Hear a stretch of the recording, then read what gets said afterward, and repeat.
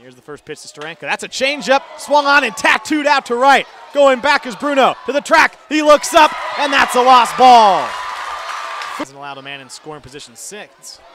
Miller lines the ball softly into shallow left center field. Coming in and diving and making the catch is Matt. On seven hits, he is in line for the win as Anthony Campanella comes on to relieve him. And the right-hander's first pitch is swung on and hit deep out to left center field. Miller's going back. He's to the track, and that's a home run.